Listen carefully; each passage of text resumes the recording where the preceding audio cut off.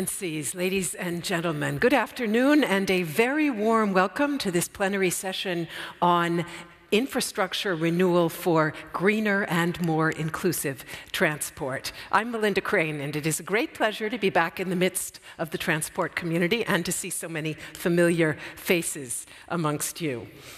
Yesterday's opening plenary, plenary, provided a clear reminder of transport's crucial role in the transition to greener and more inclusive growth. It also called attention to the magnitude and complexity of the challenge, and that's what we want to focus, focus in on today in greater detail.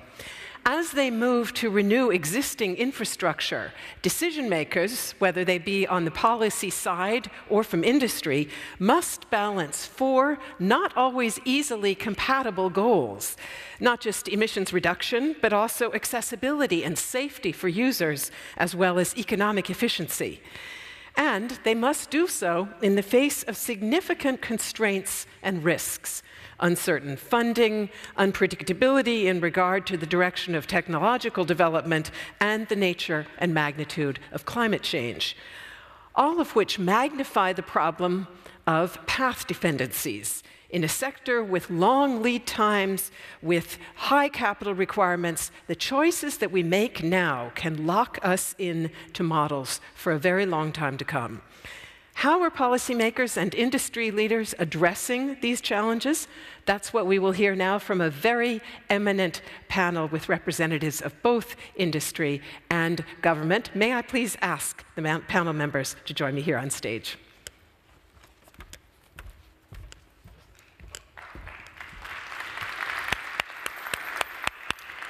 Yes.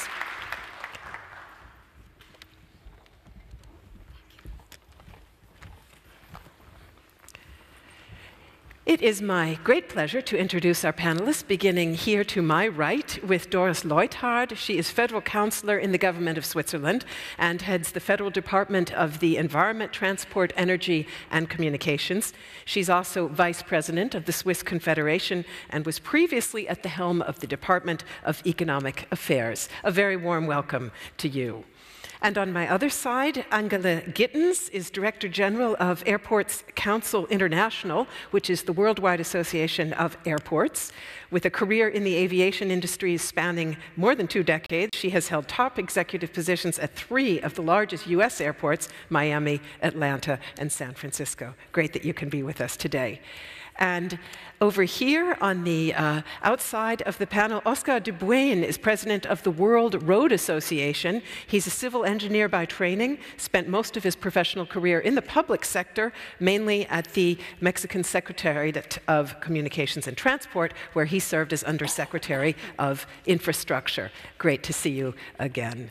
And on this side, Jean Pierre Loubinoux is Director General of the International Union of Railways, UIC, which is the worldwide association of the rail sector. He previously served as chairman and CEO of the French railway SNCF and uh, also, uh, sorry, SNCF International and SNCF Director of International Development. And finally, a pleasure to have with us Karina Rigby. She's Vice President of Business Development and Strategy at Siemens Mobility, with responsibility for rail and road products, solutions, and services. She's a material technology engineer, and she has held various COO, CEO level positions with multinational companies before joining Siemens. So, welcome to you also. I'd like to start out by talking in general about prioritization, about how you identify strategic priorities in view of those various uncertainties that I listed earlier. And let us reserve climate change uncertainty perhaps for the next round of discussion and focus in now on the various other unpredictabilities that you face as decision makers. And of course, there are plenty of those surrounding both technological development and also funding issues. So I'll start perhaps with Switzerland, which is a world champion, as we all know, when it comes to sustainable long term transport policy making with a very strong intermodal focus. You've got a dense rail network, which of course does require extensive maintenance and renewal. So, what can we learn from Switzerland in terms of identifying those strategic priorities? afternoon. Sorry, good afternoon. Uh, I think what for governments, for Switzerland, and I'm, I'm, sure also for other countries, is very decisive that you have an assessment about mobility in the next 15, 20 years. So we have quite a good idea where will people live, where we will have how much traffic, uh, so capacities uh, available for the future, where will people work? So the assessment actually is an assessment of the population, living conditions and uh, labor conditions. And then you have a, an idea, okay, what means this on infrastructure? And then, second, uh, for us it's important that we have a, a philosophy that uh, in every region of Switzerland you have access to a transport system, to public services. But this means in, in, rural areas, public transportation is on roads. It's maybe a bus system or, uh, well, some kind of public transportation on roads. And between cities, we have a clear priority that this is the railway system. And another third example is for us important, the transportation of freight. Here we have the transition from road to uh, uh, railway, which uh, is also a huge investment in railway infrastructure because this is more effective, consumes less energy, and is in time. And with roads who are more and more, well, we have more congestions, so time is also an element of our priorities, that the consumer, the economy has an infrastructure available which helps the economy, which keeps you to move from A to B in time. And so that's how we plan our investments uh, sustainable because we think really energy, environment protection, this must be uh, an element uh, of uh, our priorities and services to every citizen, not only in the urban areas all over the country.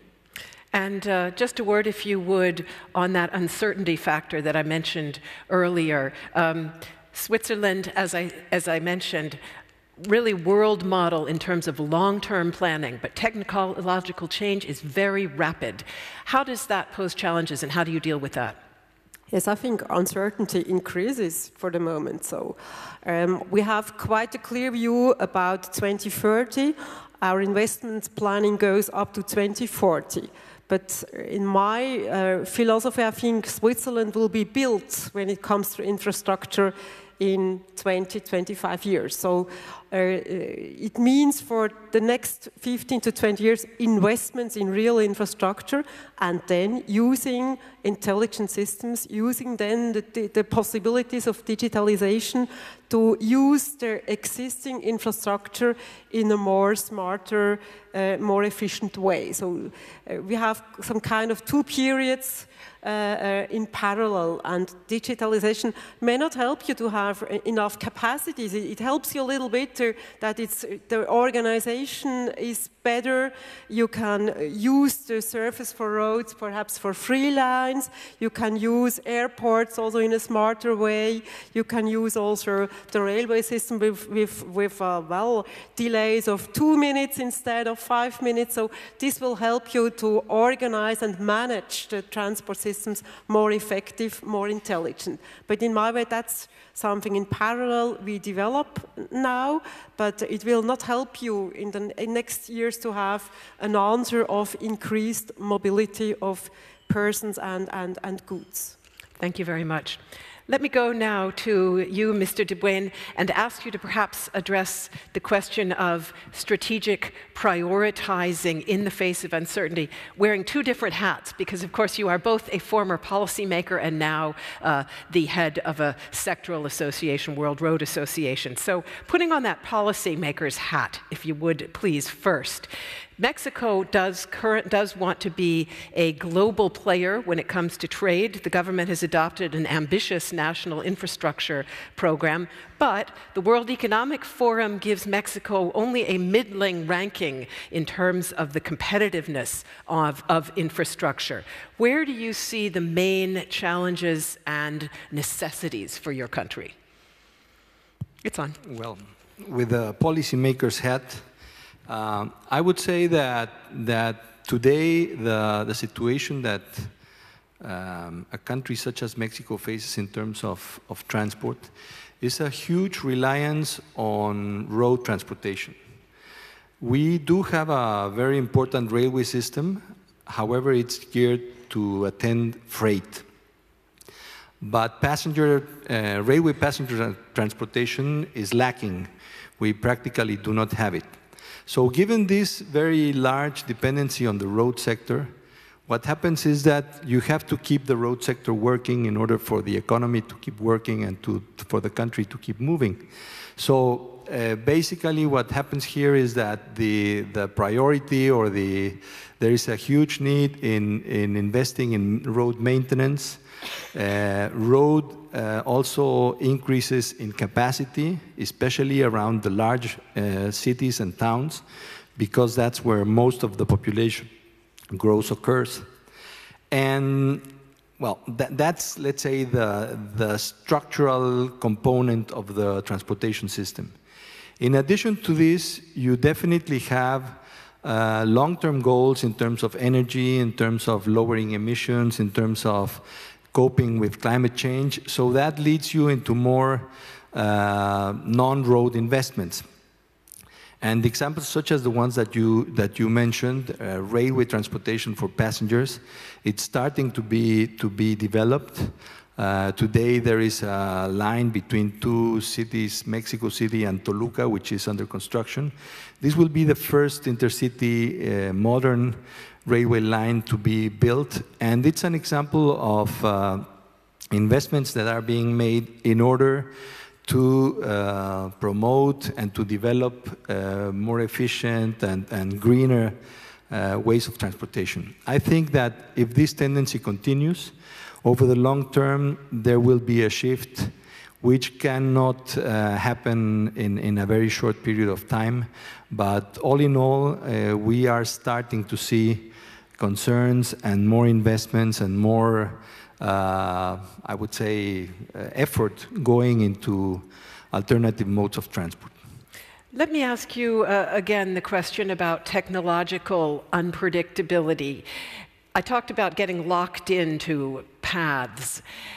We are certainly going to see major changes in the road sector electric vehicles, um, automated driving, just to name a few of the, the ones that are most uh, covered in the press. Uh, how will that affect planning for road expansion and renewal? Asking you to now put on your WRA hat. Yeah, thank you. Well, uh, I would say that one of the largest priorities overall worldwide in the road sector is maintenance.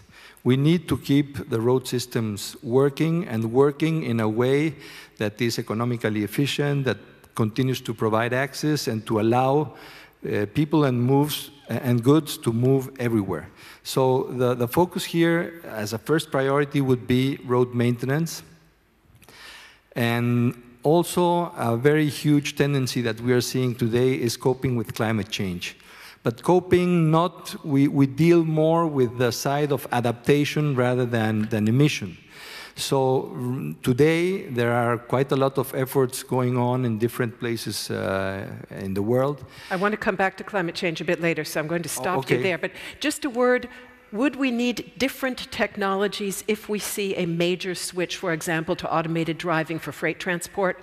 Uh, well, automated transport is currently a concern, and we're starting discussions as to how we should uh, prepare the existing road network or the existing roads in order to allow automated uh, vehicle operations. Uh, obviously, the discussion is at a very early stage, and um, well, we are we're going to see more and more debate and more and more um, well issues uh, being happening in, or happening in this in this area because uh, we see there is a clear recognition that this tendency will keep coming and as road administrators most countries need to cope, need to start thinking about what they will be doing in order to, and which technologies they will be promoting, and how they will be deployed in order to get their systems ready for this, this new mode of operation. Thanks very much. Let us come now uh, uh, back to rail and uh, ask you, Mr. Loubinoux, how the kind of unpredictabilities and uncertainties that I mentioned affect the planning of rail extension, renewal, and addition? Uh, what challenges do your members face? Well, uh, transport is the mobility of goods and people. And there is no transport, whether you are in stable times or unstable times, without good infrastructure. Whether it is new, whether it is renovated, uh, you need first to have good infrastructure. I think it goes the same with roads. Uh, so this would be actually the priority. And I think, uh, as you mentioned, that we are actually in unstable times, we have to remember history. And it is just after the crisis of 1929 that President Roosevelt actually decided on the interstate planning.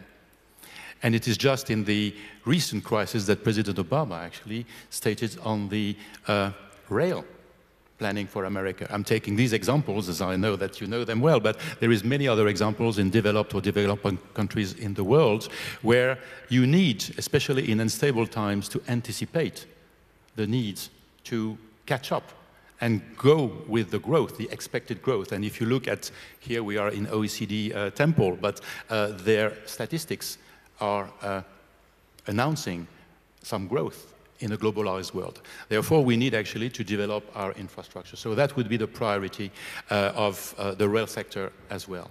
Having said that, this uh, infrastructure must be safe, which is the first of all priorities of all operators from the inception of railways in the 19th century. Then it must be sustainable. It is already rather sustainable as a mode, but it has to be even more sustainable to bring its contribution to uh, society in terms of CO2 emissions, uh, energy consumption, and modal shift. Uh, it has also to be at the service of the customers, that was said by everybody, but this is obvious. Uh, we are not actually transporting for the sake of transport, but to uh, achieve something in a social and economical uh, context. Um, and if there is another priority, which I would say is to anticipate a little further what is coming down the, the, the rail or the roads, uh, is to be interoperable. Uh, we are not living in a world where there is still enough space, enough money to build modes independently from each other. And uh, this interoperability, which is good for international, which has been actually developed uh, uh, by air or by road more successfully than by rail, is also a strategic priority for us. Whether it is technical, whether it is uh, administrative, this is something that we must actually do uh, together with uh, this new approach uh, of course, rail has a lot of advantages in terms of capacity, in terms of uh, uh, cost per passenger or ton kilometer, but uh, also in terms of complementarity. We cannot do it all. We can be a backbone of a new transportation mix. We cannot do it all. We must work with the intelligence of working together to manage the interface between intracity and intercity, between the corridors uh, and the first and last mile. Thank you very much. Let's now uh, move uh, into the air. And uh, Ms. Gittens, if I look at the mission statement of your organization, it mentions all four of the goals that I talked about earlier. It says uh, limiting environmental impacts while also supporting economic and social benefits triangulating those, of course, is not without trade offs, and it's easier, clearly, for some of your member airports than for others. What is your advice to them when it comes to prioritizing infrastructure investment at airports? Well, first, of course, it's on. Uh, first, of course, um, let me agree with uh, your your opening statement about the level of uncertainty and the level of risk uh, that airports have to take in making massive, sometimes massive, capital investments uh, in the face of increased liberalization of air routes. Uh, so um, airports can build facilities based on uh, the business models or the intentions or the expe expectations of particular airlines and a particular uh, air service market, and then they can change literally overnight because um, airlines have the ultimate freedom of, of, of changing, um, changing their patterns uh, and changing their business models. And we have quite a few examples of airports that built facilities uh, based on a particular business model, then the business model changed. You know, for example, in Asia, the, the uh, emergence of the low-cost carriers, which originally were uh, short haul, point to point, then became long distance, long haul carriers. Uh, we're, we're, now hubbing uh, in, in their own way. Massive uh, impact on facilities. And in some cases, facilities literally had to get thrown away, that is, uh, rebuilt. Uh, the advice we give uh, to airports, one, we, we try to collect a lot of data to try to help them forecast where, where trends are, uh, both in their own market and, and in other markets, so they could see you know, what's, what's going to be likely. Uh, but we also advise them to really understand their own market and not, and, and be careful about being seduced into a particular business model of a particular carrier. Uh, that facilities uh, need to be as flexible as possible. As you mentioned, technology is advancing.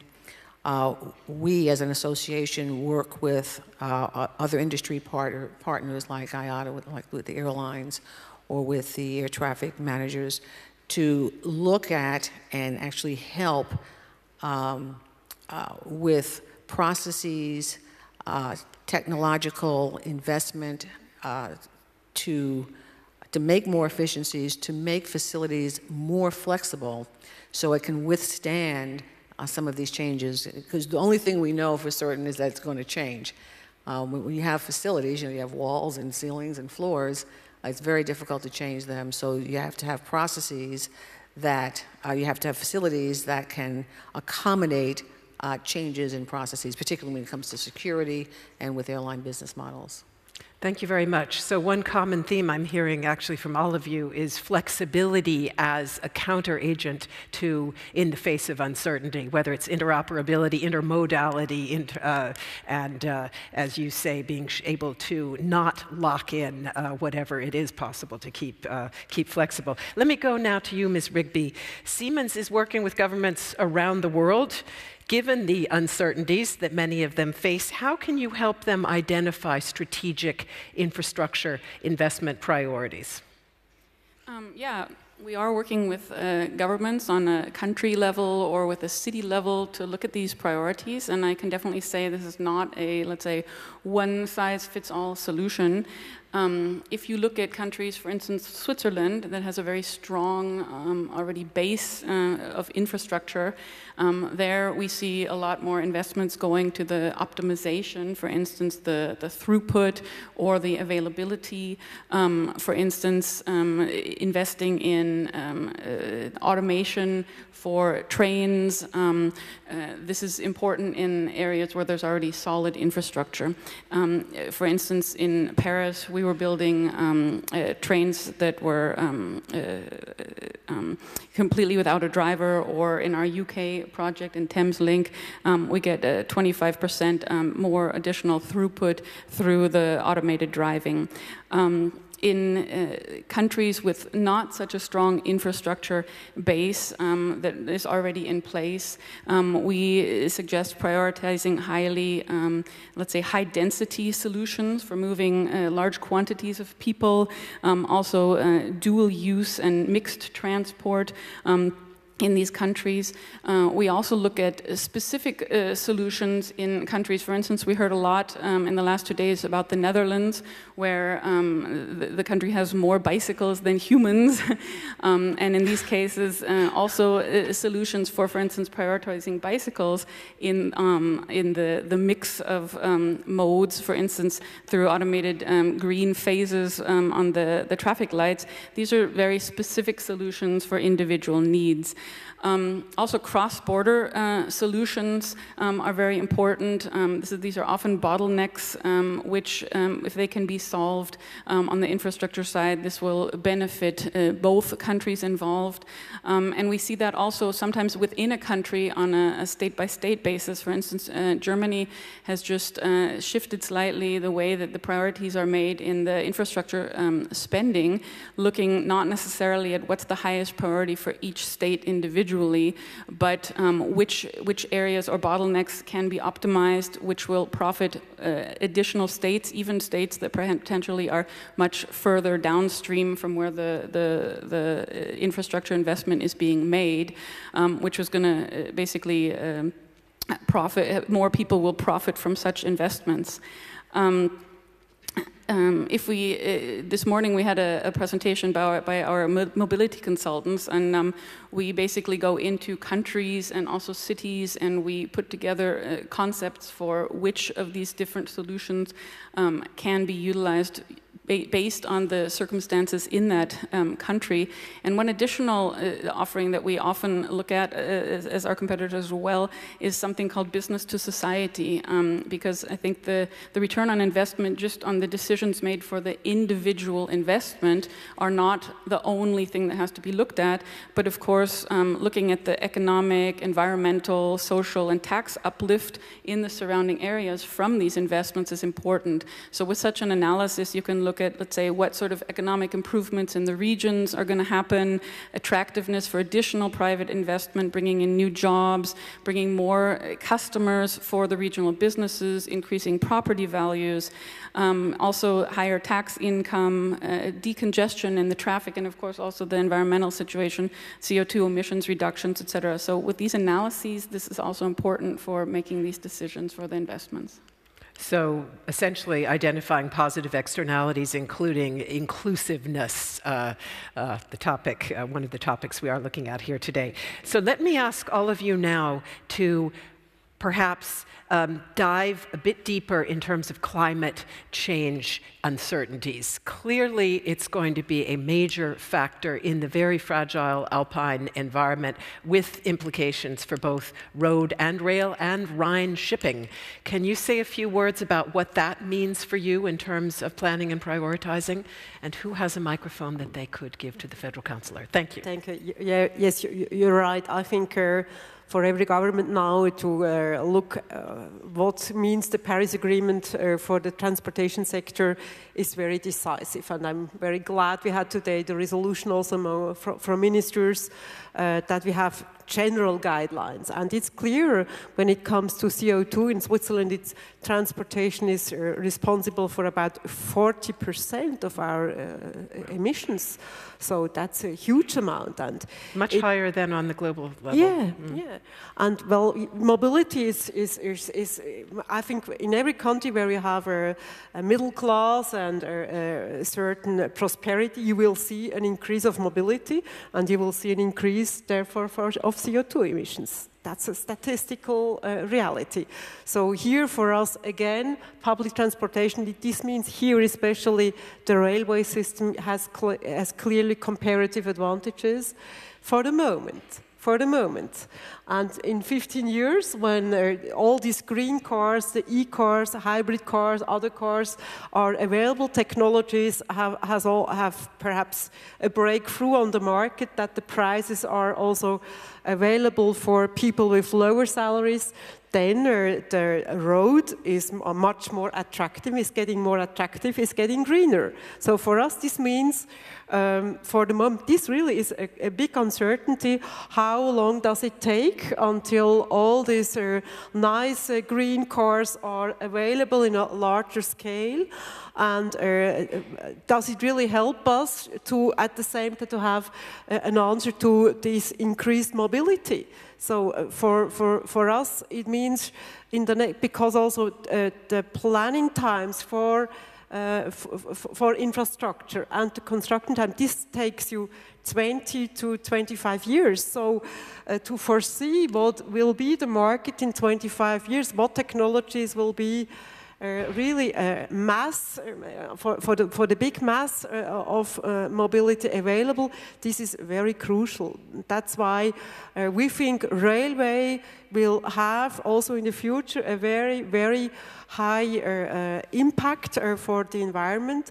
And the cars, this will take some time until you have renewed the whole, uh, whole fleet in a country and international transportation. So this probably takes 25 to 30 years until really can say, okay, both systems are eco-friendly and both systems have uh, some advantages also in the future. So that's the CO2 reduction side, but just a word, if you would please, about adaptation. To what degree are you looking now at prioritizing resilience and what exactly does it mean in an alpine environment? Where are the biggest challenges going to lie? Yes, well, we have since uh, more than 50 years the modal shift from uh, uh, the lorries from road to railway. And this is exactly because it's an element of alpine protection. Uh, and here we will, well, in 10 days we will have the longest railway tunnel of the world. That's one of our big investments to uh, have a clear orientation of uh, transit, uh, freight uh, uh, transportation to, on, on, on, railway.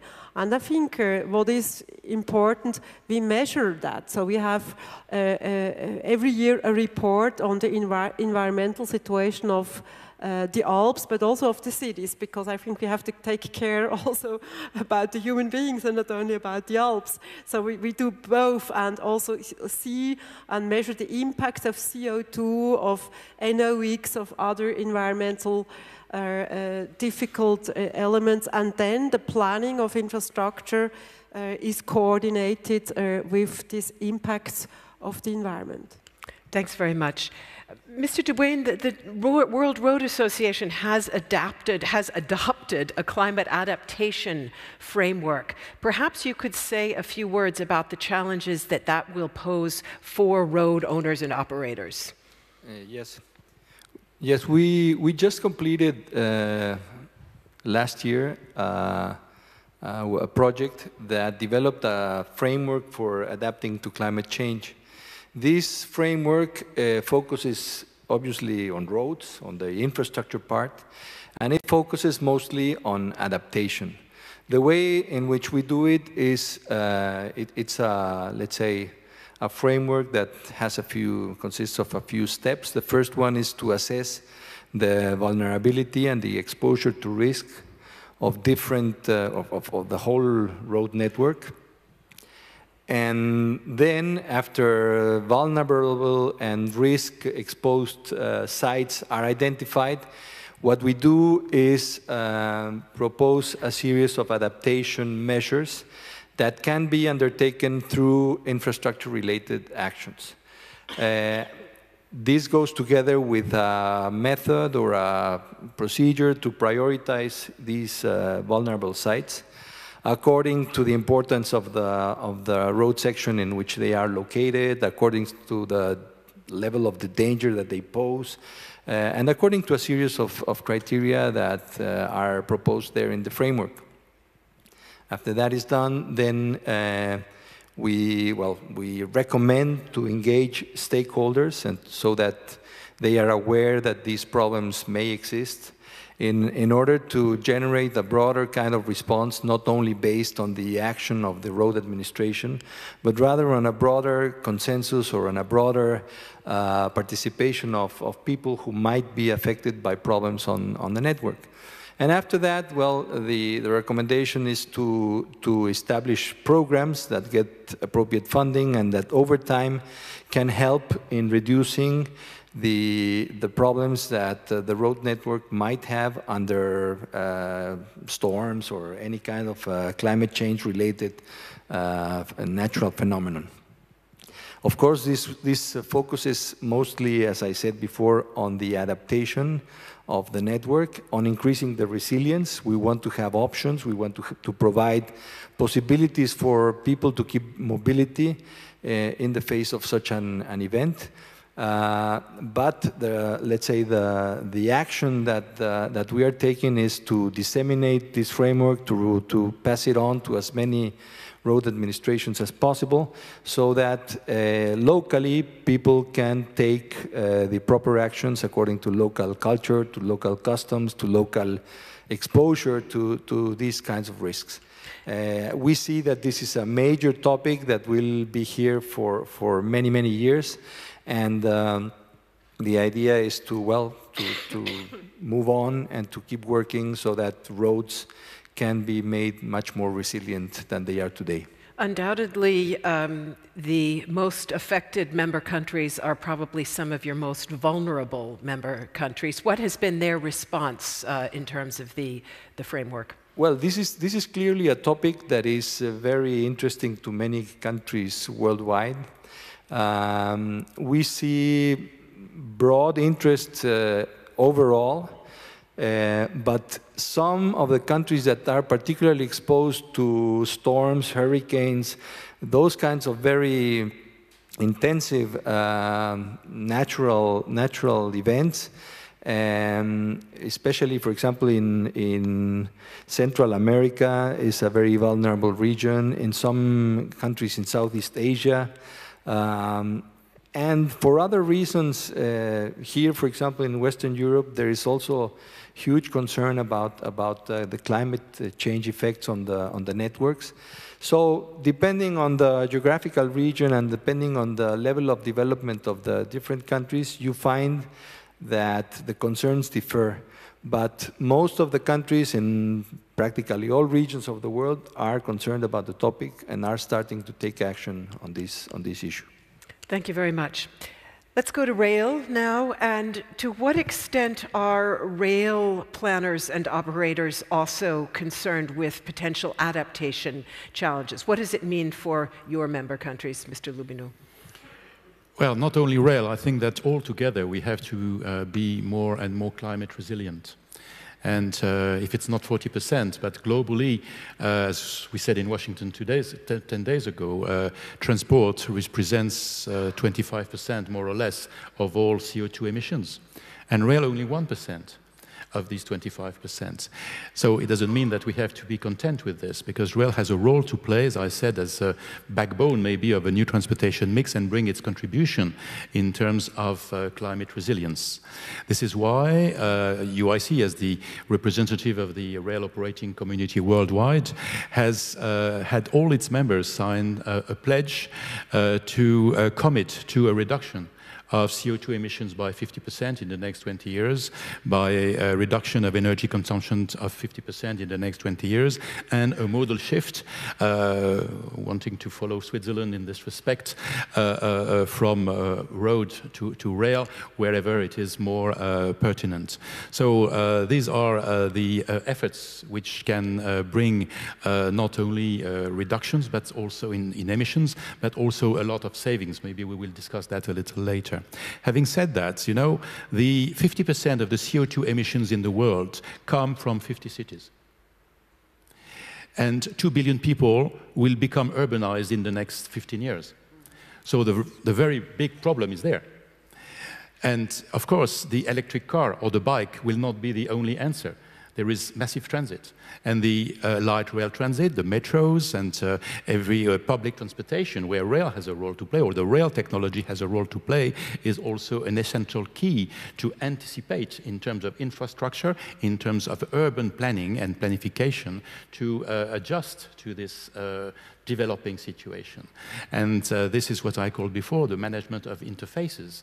The station, the logistical hubs for freight distribution or collection will be the keys of the um, most efficient solutions for uh, climate resilience.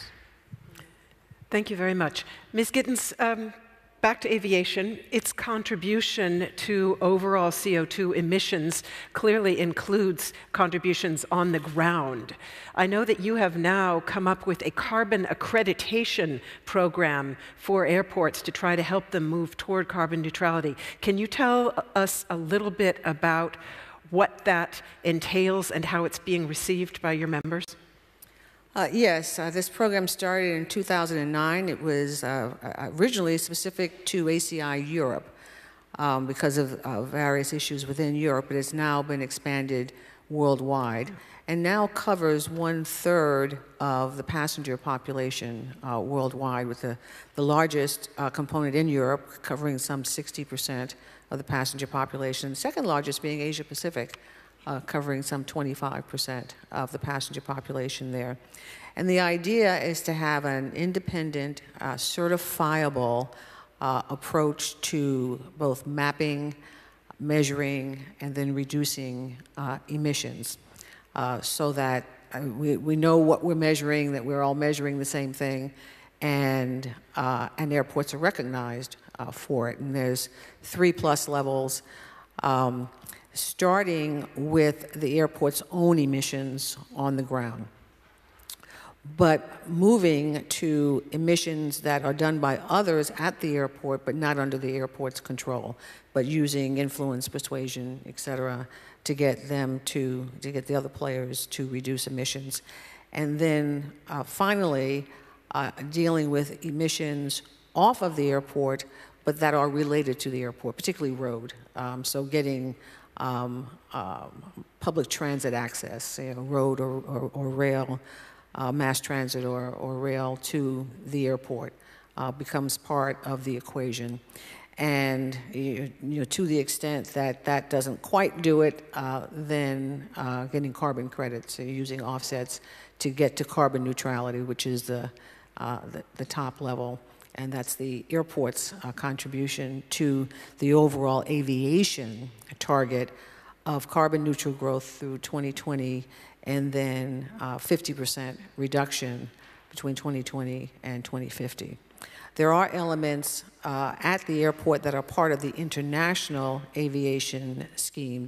There is no scheme anymore, but you know, when there is, we part of the aviation international aviation scheme, and that uh, that is uh, providing ground power uh, to the aircraft, so the aircraft doesn't have to turn on its engine, and that saves a lot of fuel, um, and, uh, um, and, and providing. Um, I can't remember the other one, but there, there are two basic elements that the airport can supply uh, to the airline uh, if they choose to use it.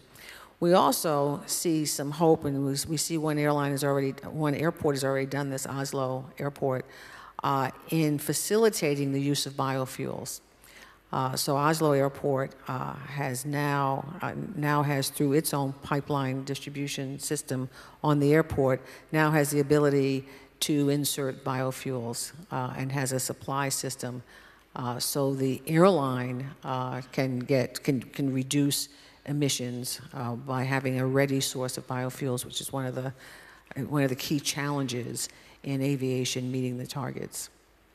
But just, but just a word on the, because you didn't ask me about the um, uh, adaptation. Yeah. The other element, besides the actual adaptation by the airport, and we, we like, like rail, have, a, have guidance material to airports uh, to have them assess their vulnerabilities and, and develop a plan. But the other element is what it does to their market. So you have, for example, one of the most vulnerable uh, areas are the island states and the, the airports that serve the small island states. Well, when they have sea level rise, or when they lose their beaches uh, because of sea level rise, their market is gone. And without a market, you know, then the airport can't survive either. So that's a, a huge element for us in, in, terms of adaptation and, and the impact of climate change on, on the very basics uh, of the system and often on the most vulnerable. We'll come, be coming to the funding implications of that in just a moment. But let me now come back uh, to Ms. Rigby and Siemens and ask you about cities. Uh, Mr. Loubinoux just reminded us, uh, he didn't put it in these words, but it often is said the battle for climate neutrality will be won or lost in cities, given the massive rate of urbanization and also the importance, of course, uh, of mobility, transport in cities. So perhaps you can say a word both about what has to happen in infrastructure renewal, both to reduce CO2 emissions and to reduce vulnerability, adaptation issues in cities. Um, yeah, I think what we're seeing in cities is the sort of uh, cluster in three different areas of how uh, how the um, climate change factors into decision making, and we're really looking at sort of at shifting, improving, and avoiding in order to reduce the environmental impact. Um, if we look at shifting, um, we can also see a handshake here um, between the the governments and the industry. For instance, um, Europe has uh, worked together with with the, uh, the rail industry, so the European Commission, to um, develop a, a, large R&D investment program um, with the, it's called Shift to Rail, so basically shifting to uh, lower emissions modes of transportation. Um, so that's really a handshake between private and the private and the public uh, sector. Um, what also is important in, in, the shift is making these uh, lower impact modes of transportation more attractive to passengers. Um, so one thing that we're focusing on is really heightening the, the passenger experience in these modes of transportation. Um, you can look at things like um, intermodal uh, passenger information systems, or um, you can look at, for instance, we have uh, something called uh, BIBO, it's be in, be out. So basically, if you register, you have a cell phone in your pocket, and you can just walk into a train either between cities or within public transportation in a city. You can link other modes of transportation, be it car sharing or bicycles, and in the background, the system will just uh, book uh, the, the fees based on how far you traveled with the various modes in the background. It's very, very, let's say, passenger friendly, and it will it brings people more into these low impact um, modes of transportation. Um, we also see things like investments in hybrid trucks. I think you saw you saw it outside uh, the buildings um, the last couple of days, um, where we can also transport um, goods um, along uh, corridors um, in order to also improve the environment, um, the environmental impact also for often low-income uh, families that are living near these uh, these freight uh, cor uh, corridors. Um, if we look at the, the improving building block, um, we heard uh, before also about um, investments in throughput and availability improvements. Um, so basically, you can improve the, the environmental impact of the systems that uh, the cities already have. So increasing the ability to transport more people and goods with a lower um, a lower impact to the environment. So, for instance, on an automated rail line, um, you can have shorter intervals between um, the trains, increase passenger capacities by up to 50 percent you can have headways of about uh, 80 to 90 seconds even between uh, the, the trains. Um, and this uses a lot less energy, for instance, optimizing the acceleration or the driving and the braking through, this, uh, through these automated um, systems. You can really, um, based on the, the various uh, parameters, reduce um, energy use and improve the environmental impact by up to 30 percent.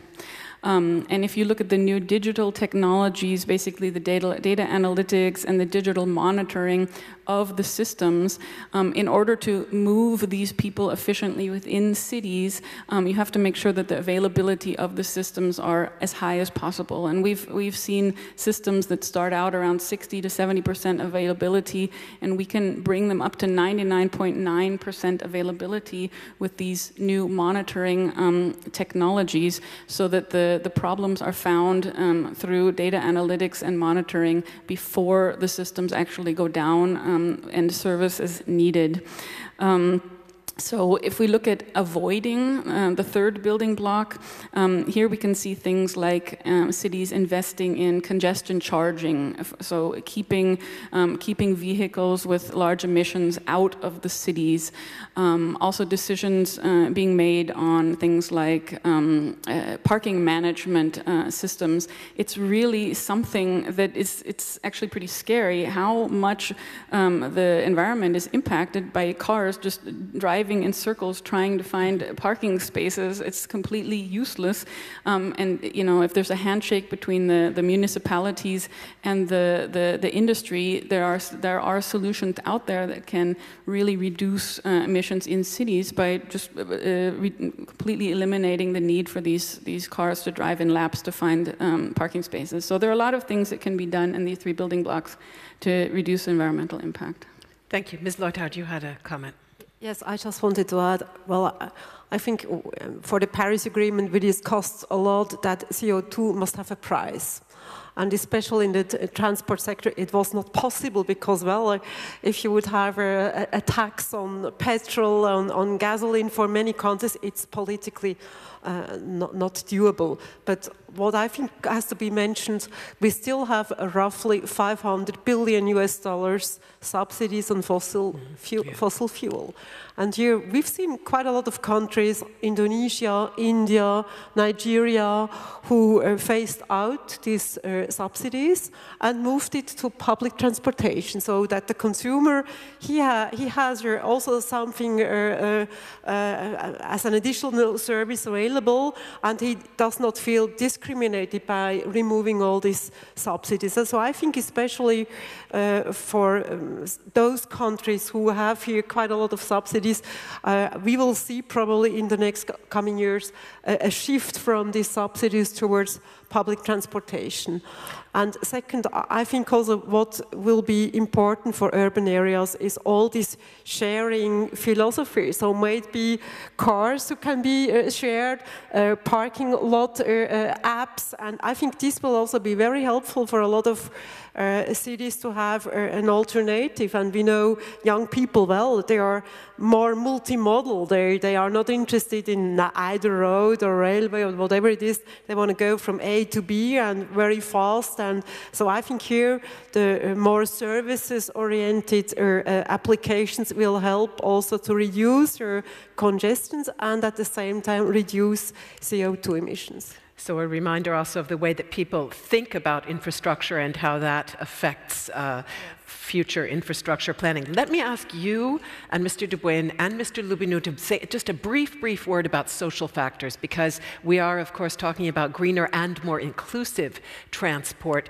How do you figure in demographic considerations, for example, in terms of what kind of infrastructure you're going to need in future. Switzerland is among the European countries with an aging demographic. Is that part of your calculations? Yes, because, well, I think in a society where you try to be inclusive, you must consider that. And for us, it's uh, the e-mobility, for example, I think for elderly people, because it's more, it's, it, it, brings up much a higher degree on, on safety. This could be a quite a good solution, especially uh, for those with short distances.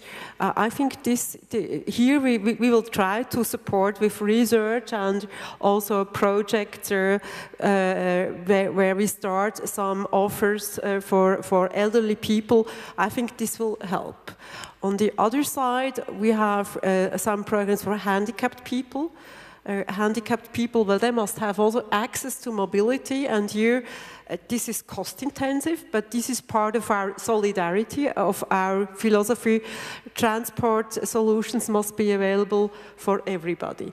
And also here, that's also some, some, some elements, especially in public transportation, where it's, uh, uh, it's a rule, a, a, general principle every operator has, has to uh, accept and, and, and uh, also, also in the railway sector with the industry, the, the new uh, modern uh, uh, infrastructure and the new mo modern Uh, uh, wagons are planned with all these uh, also social aspects. And I think it works, and I think that's a necessity for a society to have here also an, an inclusive way. And here I think uh, all these, also the Uber, the, the, the, the, taxi solutions for many people, that's a more integrated way to have access to uh, uh, services of transportation.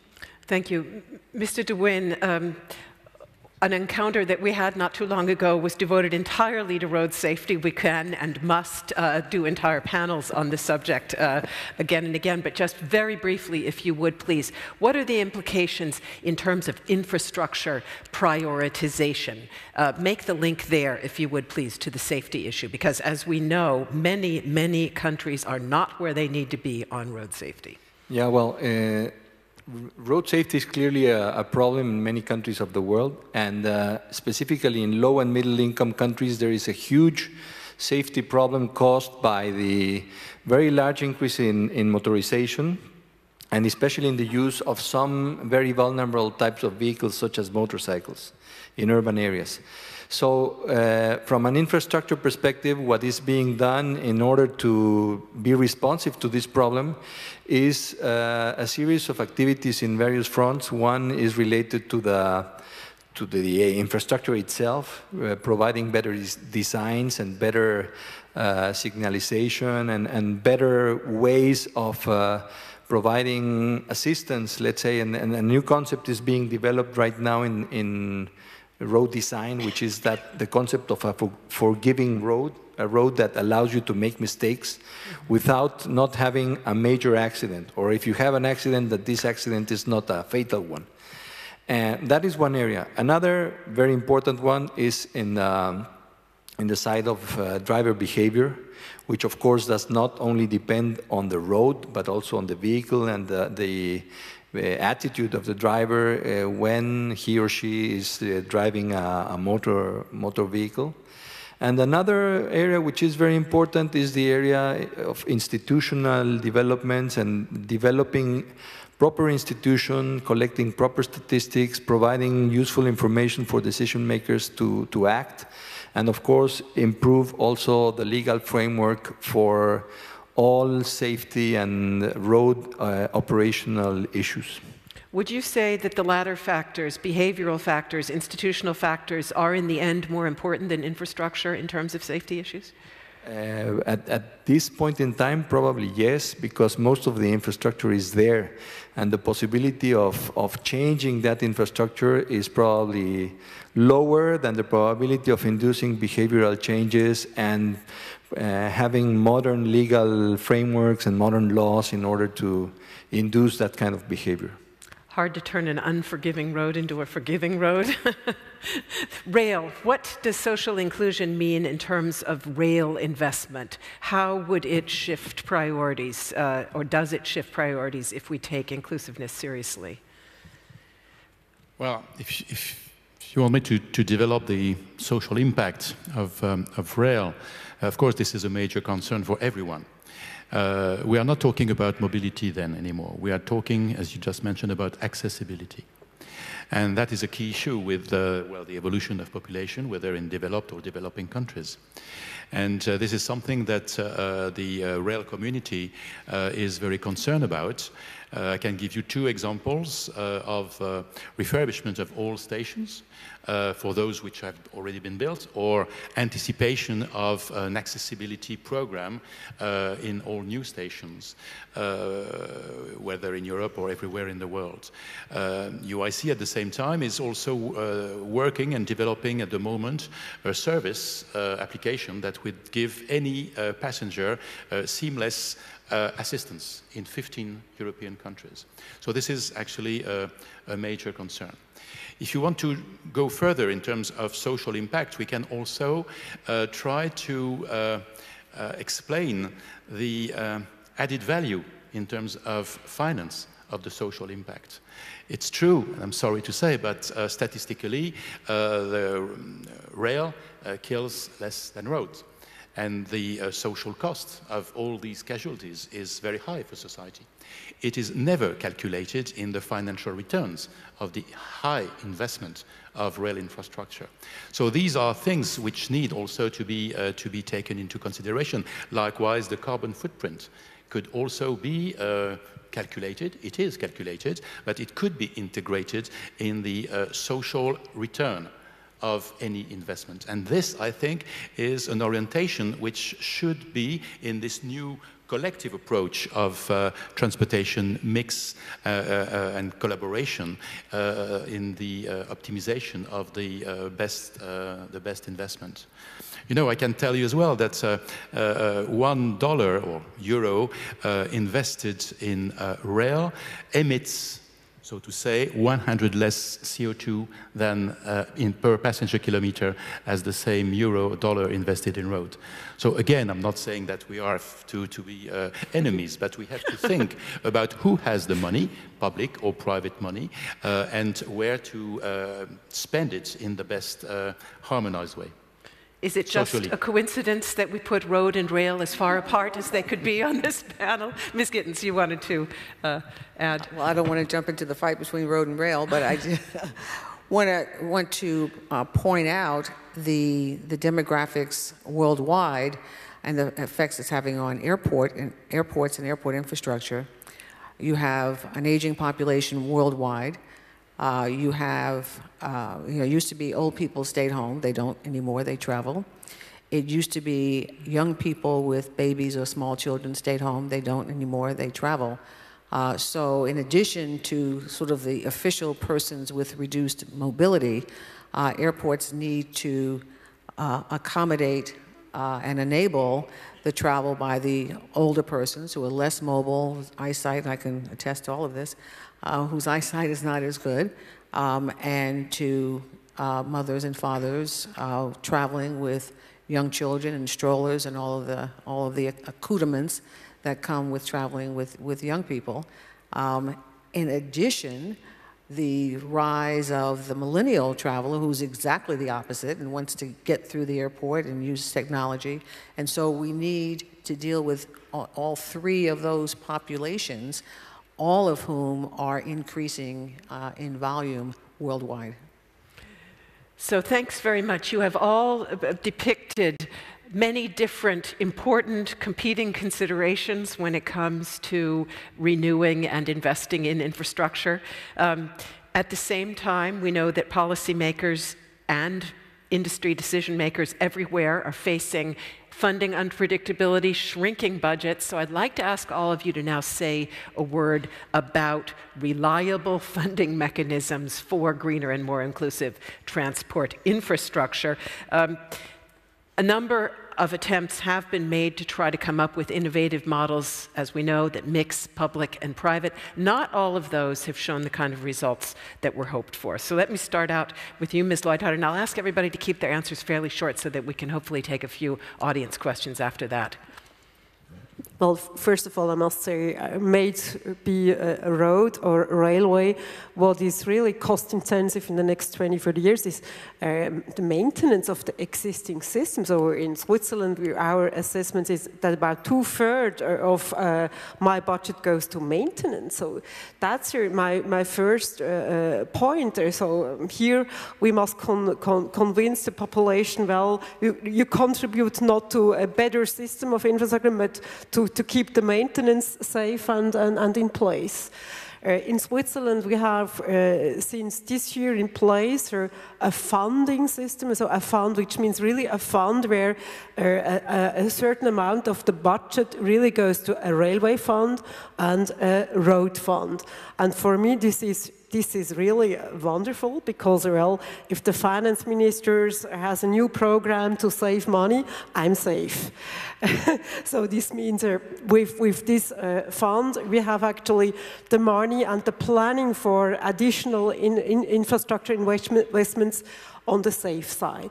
Uh, but I also need additional money because, well, mobility is increasing, so this means to, to put now in place the capacities uh, which will be needed in 15 years, uh, we need additional money, maybe on road, maybe on railway. So we have an increase on the taxes for, for fuel. I'm sorry for that, but that's perhaps it's also a good uh, uh, year when it comes in the next two, three years when the, in general the, the petrol is so, so cheap. So uh, here we will have an additional price uh, and I think it's also a good situation because we know every new car consumes less than a car you, you bought 10 years ago. So for the consumer actually it's not really additional costs but it's he, he, when he buys a new car actually he's equal. But here we will we need additional resources and on the railway we have the same operators increase the prices for tickets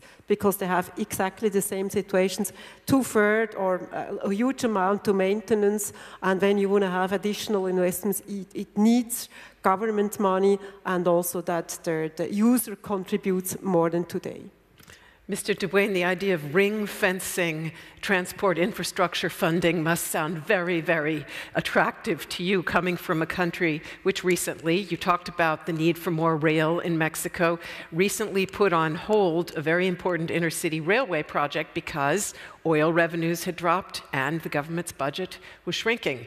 Um, what innovative approaches are out there? And you can wear both of your hats if you'd like, former policymaker and World Road Association, to talk about innovative funding approaches that actually guarantee the needed finance streams. Well, actually, speaking about guaranteeing the funding needed, I think that is more an aspiration than a reality. But in general, I would say that it also depends on, on which country you're looking at, because, for example, a relatively new concept uh, that has been fairly successful in some countries in Central America, for example, in also in some uh, sub-Saharan countries, is uh, the so-called second generation road funds, which is a surcharge on fuel that is that goes to a road fund that is uh, applied to maintenance projects, basically. And, and I think that is a, a concept that could work in some countries uh, where there is no other option to, to collect or to obtain funds in order to maintain roads.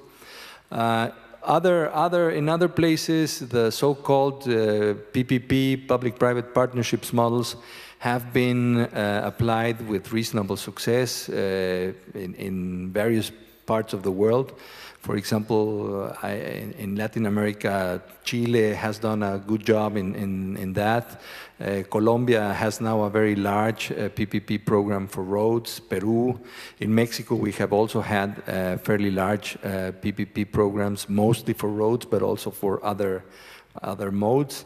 Uh, but the paradox here is that even though you may find um, funds willing to go into these kinds of projects, Sometimes or frequently you don't have the projects because you need to plan for the projects, you need to prepare the projects, you need to have transparent uh, models, uh, you have to have some very clear rules in order to, to give the concession contracts away.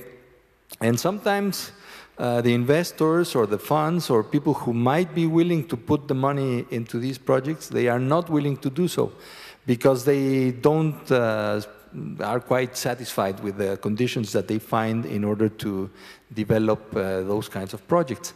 So even though these models can be successful, I think that there is a need to perfect them and to improve them in ways that are not always directly related to the specific uh, subject at hand.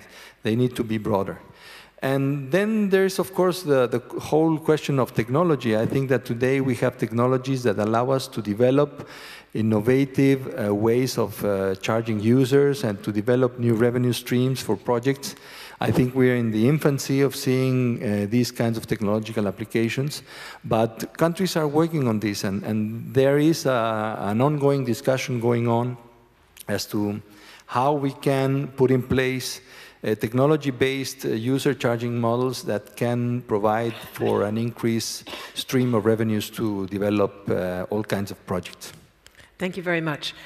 Over to rail now, and perhaps two aspects pick up on that PPP, public-private partnership uh, issue, if you would like, if you have seen perhaps good best practices uh, examples. But I'd also be curious to hear a little bit about the potential of funding from green climate funds and adaptation funds. Oscar de Buen just mentioned uh, the issue of capacity building, the need for project planning that can bring projects in under the roofs of those kind of funds. Is that perhaps something that's out there for rail? And is there also a capacity building need? It, it, it, it should, it could and should happen uh, more and more.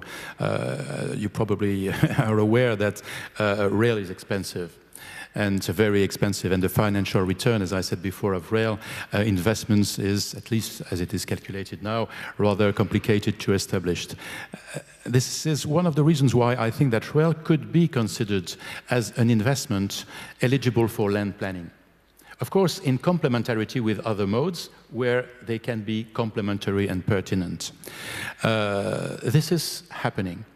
You know, according again to OECD figures, uh, $11,000 billion will be spent on infrastructure of transport in the next 20 years, 15 years.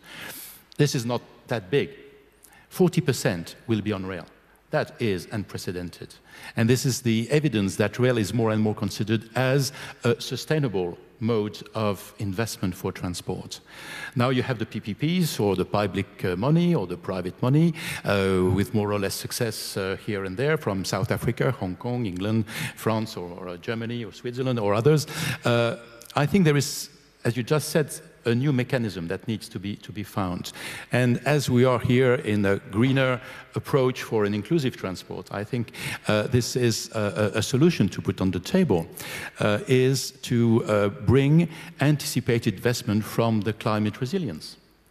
Uh, you know, if you take the equivalent of savings as per life as usual, of all the efforts of the railway operating community, interurban, intra-urban, and freight. In the next 20 years, this is equivalent to 100 trillions dollars. So this, I think, is in front of the financial stakeholders, in front of the political decision makers, a key factor. It is a virtuous circle of investment. By investing money in rail infrastructure, again, where it is pertinent, you actually uh, contribute to the anticipated savings that rail will generate. So this, in a way, is spending the money that you haven't uh, uh, uh already earned, but that you will certainly earn through uh, uh, climate resilience and sustainable mobility. Mm -hmm. May I add something? Briefly, if you would. Because Melinda, you're fully, you're, you're, you're right. We, we decided in Paris that we have from 2020 100 billion US dollars uh, a year available, and infrastructure can be part of it. One element could be the Green Climate Fund, projects via the Green Climate Fund, which is located in South Korea.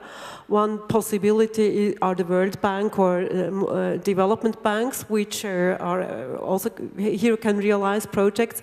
And then it's on, on bilateral projects, government with the private sector. So I think here that's a really a good opportunity, especially for developing countries who need additional investments in clean infrastructure. Thank you very much. Ms. Gittens, nearly 70% of the world's airports operate at a net loss, yet many of them are going to be needing to renew and repurpose infrastructure for all the reasons that we've been talking about. What are the funding options that are open to them? Well, what we've seen in some of the larger countries, India, Brazil, uh, as examples, is uh, the PPP system, uh, such that the country will privatize uh, its major airports, the airports that do make money, and use those funds to subsidize the airports that don't make money. So they have a system of airports that they need to um, they, they, need to run for the good of the country. But airports typically, if they're if they serve fewer than two million passengers, have very little chance of making money because of the, very large capital investment that's needed. So you need you know, certain economies of scale to, to um, even break even. Uh, so that's been successful. Um, uh, Mexico has done it. Uh, Brazil is in the, in the midst of doing it. Uh, India is in the midst of doing it. Uh, and that's been one approach. Uh, for some airports, for some countries, the PPP of even single airports has been uh, successful or more successful than uh, operating the, the airport as a pure government entity uh, because the private operator will work harder to increase non-aeronautical revenue uh, and will make investments on the commercial side uh, to help um, to help subsidize the aeronautical side. And where none of those things work, then the then the community, either through the government, uh, the chambers of commerce uh, have to subsidize. I mean, if they want to, to keep the airport open, uh, have to subsidize it uh, themselves uh, in order to, for the airport to break even and continue the maintenance. You know, airports don't have, I don't want to use the word luxury, but they really don't have the ability to not operate in a safe and secure manner because then airlines won't operate to them, they won't be certified and um, and international, um, and they, they are not allowed uh, to have international routes if they can't meet certain standards. Uh, so if you want to have an airport that, that can serve your market, you have to maintain um, your airport to a certain standard. Thank you very much. Last question uh, to you, Ms. Rigby, and it concerns some of those very big rail projects that you have been involved in at Siemens. Uh, you mentioned one of them, Thameslink in London enormous financial commitments involved long in advance. Uh, public authorities in England, as in many other places, are strapped. Banks don't have quite the lending capacity they did before the crisis. What are the options that are out there for financing streams for such projects? Um, yeah, I mean, I think it's uh, it's definitely different from case to case. Uh, it depends on how expensive is the project. First of all, what are the what does the terrain look like? What's the population density? What does the ridership uh, look like? What's the level of ticket prices? Um, that can be uh, obtained? Uh, what's the rating of the country or the area that is uh, that is uh, working on such a project?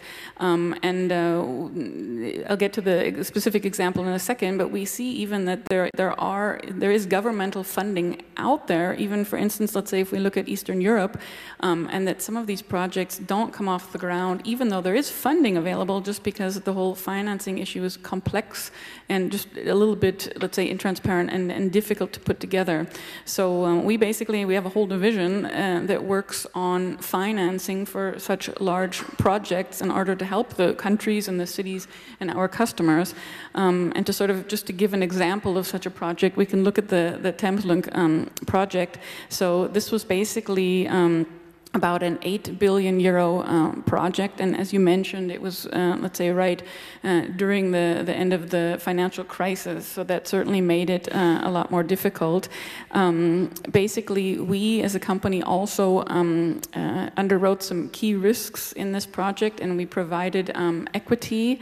Um, we also took our team of, of our uh, financial services team and brought in private, private equity investors.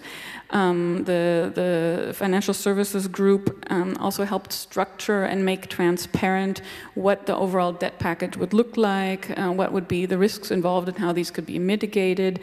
Um, and it, we ended up having, let's say, a 19 bank um, uh, consortium or a syndicate in, involved here in the in the debt uh, financing. Um, this was really, let's say, a private finance initiative coupled with a, a public-private um, partnership. Um, it was also the, the maintenance program also played a key role. Um, the, the, maintenance contract was um, for 20 years of maintenance, which was also a, an interesting way of providing, let's say, a stable revenue um, over a long period of, of time.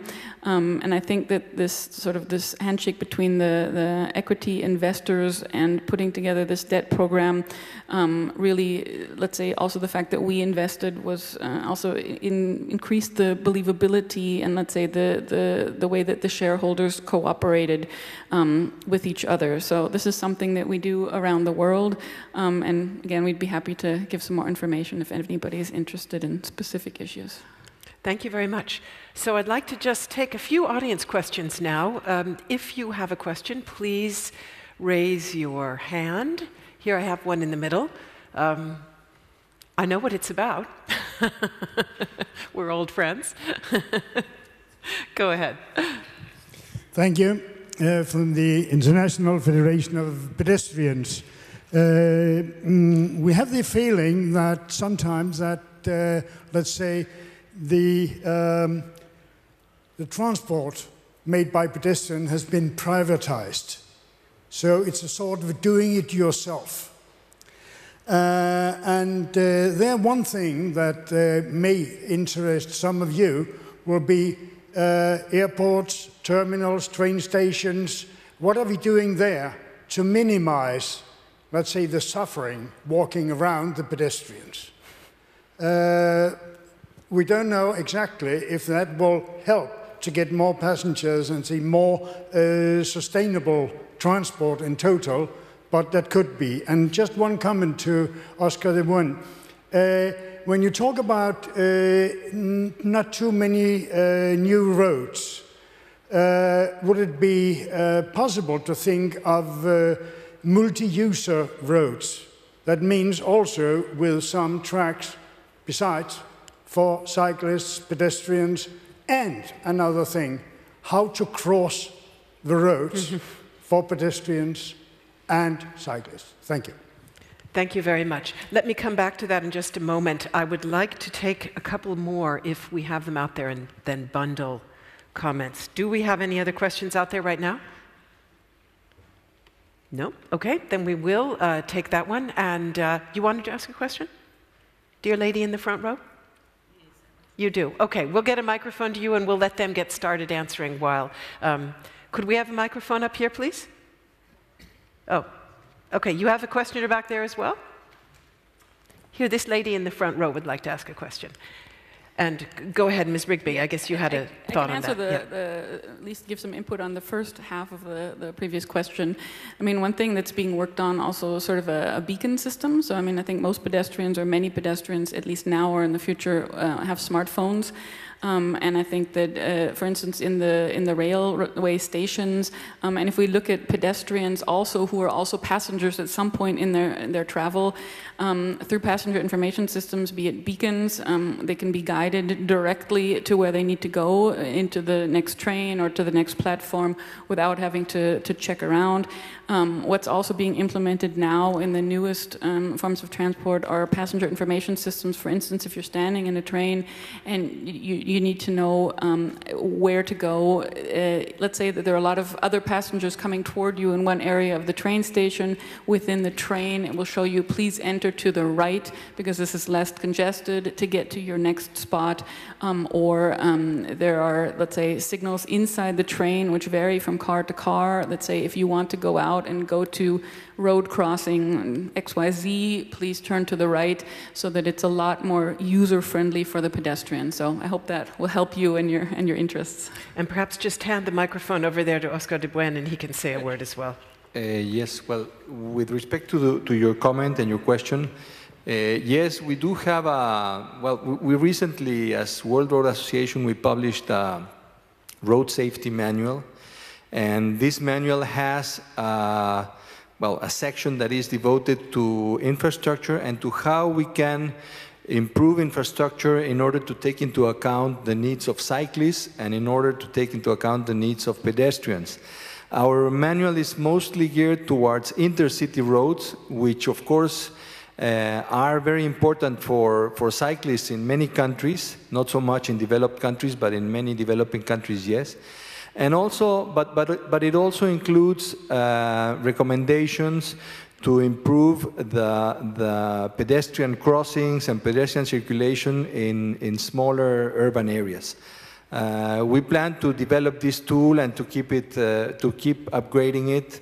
And as we go along, we expect to bring more and more good practices into all these references. Thank you. I will go to the Minister of South Africa. Thank you very much for the opportunity. I just wanted to indicate that before I, I ask my question in particular to the lady from Siemens, I would want to indicate that uh, as South Africa, we're very much excited about the latest developments, especially in our infrastructure development process, which was started by President Zuma in 2012 when he established what we call the Presidential Infrastructure Coordinating Commission. And it, for, it is actually operating also within the framework of the Green Economy Accord, which speaks to the use of alternative technology, including the alternative building materials for everything, including from housing to the different technology developments. In 2015, President Zuma came up with what is called the nine-point plan. In the nine-point plan was one of the requirements for each and every uh, uh, stakeholder and including the way we consume uh, energy as South Africans to speak to the addressing the energy challenge of our country. And we have seen marvelous developments, especially in the transport sector, where our rail company, in particular Passenger Rail Agents of South Africa, has now developed a solar plant that would make it possible for them to be able to generate alternative uh, uh, energy from the coal-based or fossil-based Eskom supplied uh, coal, I mean, uh, energy, but also equally so our airports company, ACSA, has now on Friday, the 13th, we opened the second solar plant in one of our airports, and we'll be going to the third one. And we believe in the next three years, all our uh, secondary uh, uh, or ACSA-owned airports will actually retrofit to solar. We want to make sure that by 2030, Airports Company of South Africa's um, energy is at least 42% own uh, generation in particular from renewable energy, which is based on the integrated resource plan. But I, have I've heard uh, the inputs about the use of technology in particular to make the use of transportation safer for our, uh, uh, in, in this instance, I would talk to our passenger rail um, uh, uh, commuters who at times uh, feel so vulnerable despite the fact that there is advanced technology, we have not been able to get to a stage where many of our commuters would subscribe to utilizing technology to make it possible that they can be able to track the movements of the transportation and all those uh, other means. I just want to know what is the role of technology companies to encourage public and members of society to for a lack of a better word, to love the use of technology in their own interest so that they can then be using it in particular for transportation. We also want to make it possible that we can use it for road safety. I know we were together in South Korea last year. We talked a lot about road safety. We went to Brazil, but still people are dying in large numbers in our Eh, eh, eh, in, in, in, in the world. So there must be something that we can do to make our roads safer. I might not be aware of that as yet, but I would believe that there must be something that we could be doing. But I also believe that there's no competition between rail and roads with regard to this because we are talking about intermodal and multimodal. So there needs to be an interface because you need to be yes. on the road to get to the train station. And it is important that we, we even to the, to, to, to the airports or to, to the port or to any other uh, place. But thank you very much for the opportunity. Thank you very much for your intervention. And perhaps, uh, Ms. Rigby, a word, because it, absolutely it's an inclusion issue as well, making technology accessible and usable for older people, for um, vulnerable populations. How do, how do we do that? Yeah, I mean, I think uh, with, within Siemens we also have a program called Grow Africa, and I know that South Africa is really a main hub of this, uh, also because of uh, the, South Africa is also very, let's say, influential, um, also in helping uh, the, uh, your own country, but also your neighboring countries get access to new infrastructure um, for passengers.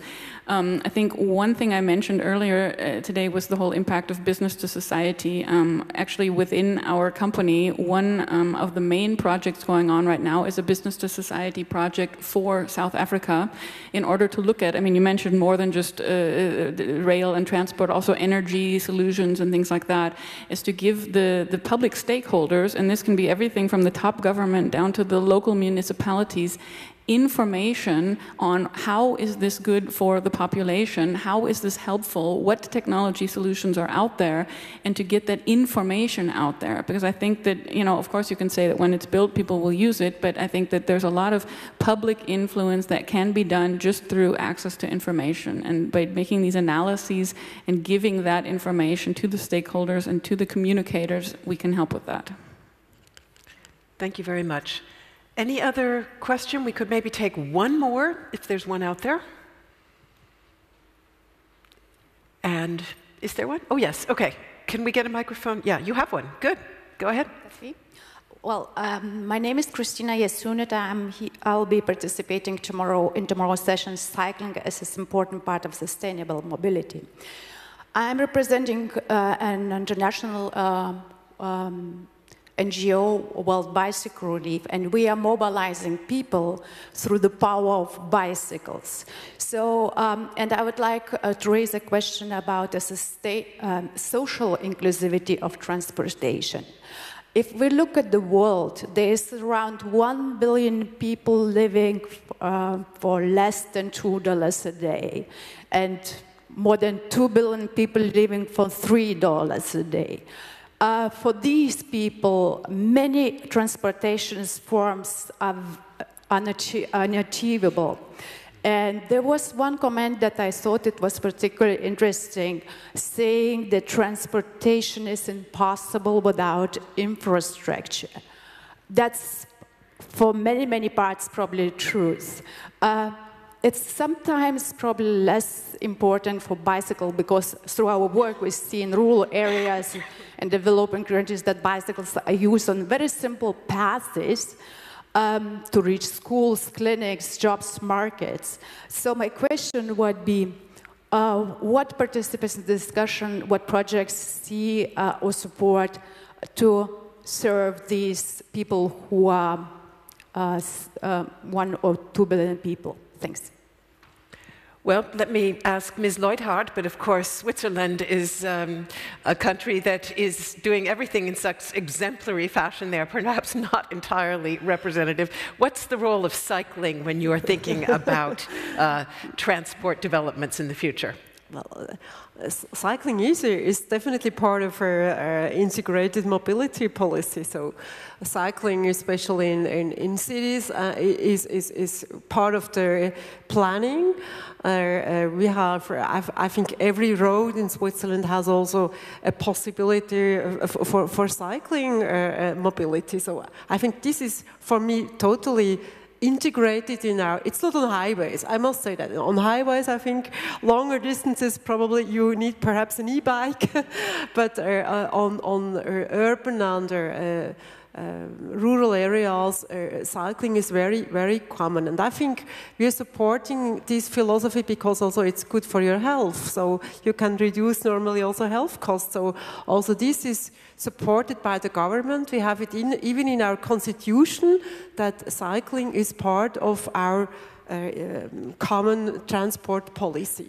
And when it comes to your social idea, I think this is really for many countries important. Also in Switzerland, we have poor people, believe me or not, we have. and uh, here, I think public transportation again, here, uh, I don't see that this is really profitable. We, we have here also the social aspects uh, that we here uh, pay uh, a lot of the uh, infrastructure by public money, that the services are available and that everybody has access to these services also with a, with a low budget. I think that's also a responsibility towards our citizens that transport really must be access to everybody, for everybody must be guaranteed uh, with or without money. I think that's a basic service uh, we need in every country. Thank you very much. And I think that I will end the discussion there um, with all due respect to the fact that we could address the cycling issue in connection with every mode represented here. But uh, given the time, I will just say thank you very, very much to all of our panelists for being with us today on the panel. And thanks to all of you for your attention and your contributions. And uh, we do now have a coffee break, I believe, outside. So enjoy that and see you at further sessions. Bye bye. Thank you. It did.